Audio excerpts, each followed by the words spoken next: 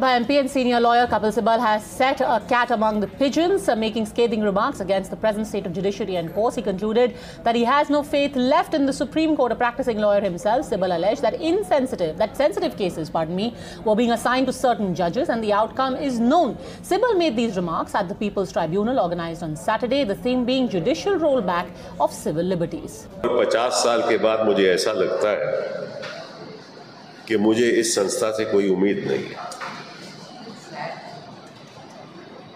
आप बड़ी बड़ी अदालत की जजमेंट्स की बात करते हैं। लेकिन ज़मीन पे क्या हो रहा है, उसको आप देखिए और ये सोचो कि सुप्रीम कोर्ट के द्वारा आपको राहत मिलने वाली है।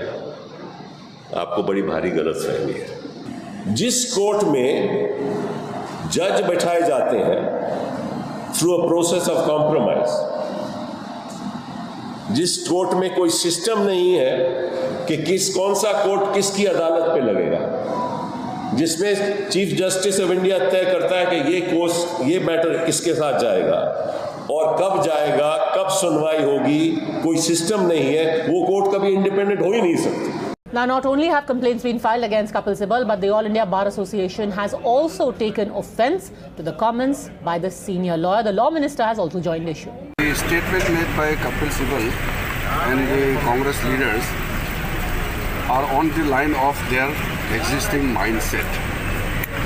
For the Congress party and uh, their like-minded people, courts or any constitutional authority must favor them or work according to their interest.